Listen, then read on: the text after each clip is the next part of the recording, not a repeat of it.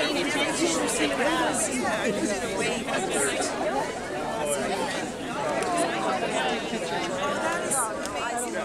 And I've met people that are out, I've seen them